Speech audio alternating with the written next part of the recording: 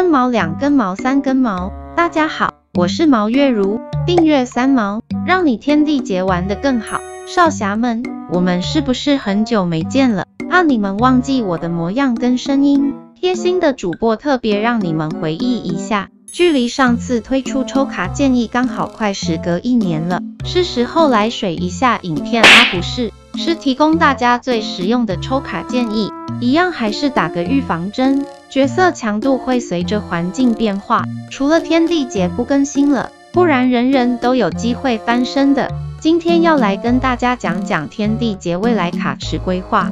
你是不是因为十至金、十之印不够抽困扰着？你是不是因为角色还没练完又要抽星爵烦恼着？让毛月如带给你们抽卡建议跟卡池规划吧。老样子，给你们看看台服未来式的卡池。这边我就每一个卡池简单带过就好。台服四月底预计推出法海跟青的卡池。他们是青蛇篇的国风联动卡池，所以一般池子不会抽到他们两个。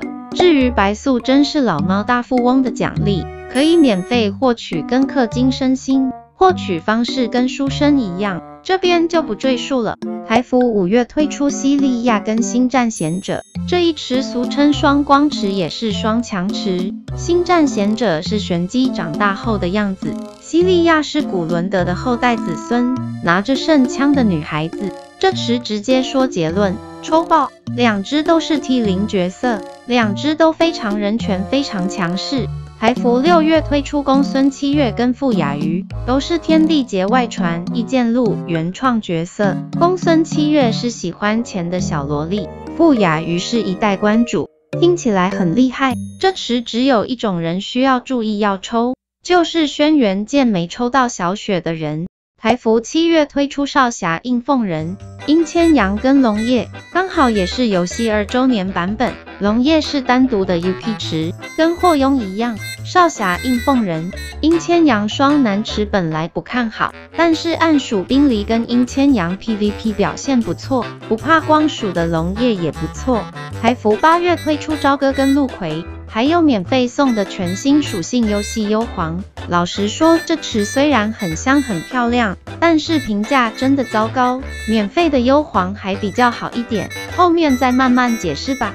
评价的话，我先用一个综合版，等等会分 PVP 跟 PVE。综合版本 T 零跟 T 零点五是我认为版本强势的角色，但有些角色拿去打 PVE 真的蛮鸡肋的。就会有个区间，比方说即将遇到的法海跟清之池，打 PVP 超强，但是打 PVE 属于可有可没有，有其他代替的角色，PVP 我给他们 T 零点五，但是 PVE 大概就 T 二后，T 一就是还蛮全面跟机制独特不错的角色。那我们先说说 PVE 的玩家，换张投影片。青是暗属侠客，法海是光属铁卫，白素贞是雷属咒师，法海是猛士，但不打伤害的，是干扰型的纯肉路障。白素贞是强调可以跳进跳出来的爆发型侠客，纯 PVE 玩家不建议抽取这两只为了 PVP 打造的角色。光坦推荐练下面的小骨，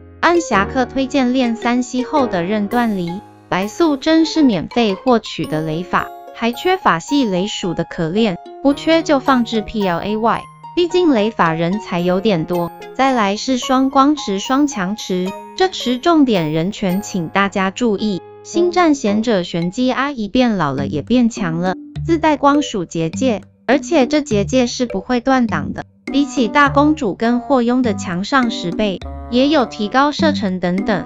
反正天赋通常像写作文的角色都很强。西利亚小古圣枪的继承人，守卫正常复活没副作用的坦克，终于把梦战的物防转物攻这种防转攻机制植入，怕爆！只要叠满圣枪之力，就可以过弹打人，自带在动钻二格，是一只物防高、物攻高、反击痛、打人也痛的超强复活坦。反正这池就抽爆就对了。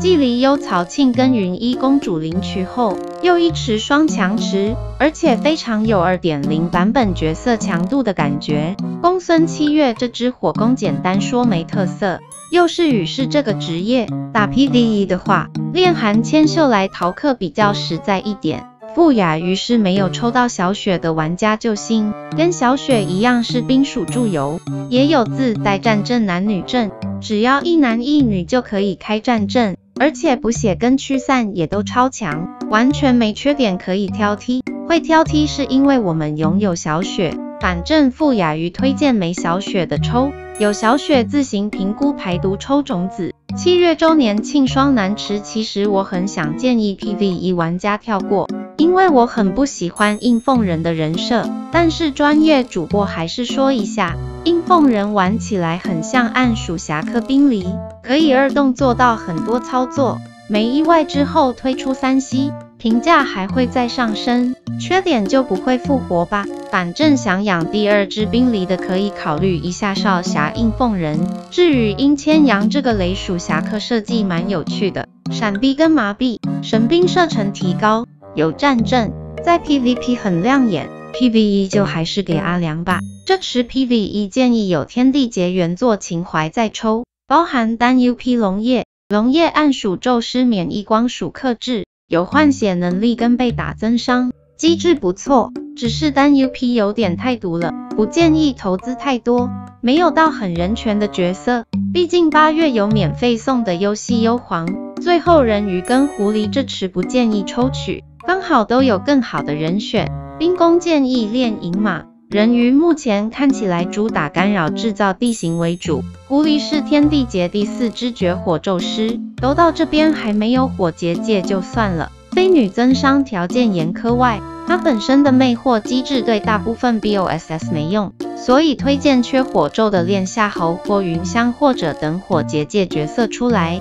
游戏优皇免费送的，目前推荐练。过阵子看完评价再更新。至于 PVP 的玩家，其实抽卡策略跟 PVE 相似，比较有问题的就是法海跟青吧。先说说青，青因为未来刚好遇到双光池，光属人权世代，强得快，下去的也快，强势不久，跟阿秋有点像。至于法海现在打搅屎棍很强，但是这种角色很吃环境。哪一天出了免疫驱散跟地形的技能或者饰品，这也不好说。咸鱼超古伦德月如这种推推拉拉就是这样下去的。总而言之，抽卡差不多一样。过阵子如果评价有变，我再改。以上就是我给大家的抽卡建议跟卡池规划。如果有任何问题，欢迎影片留言讨论。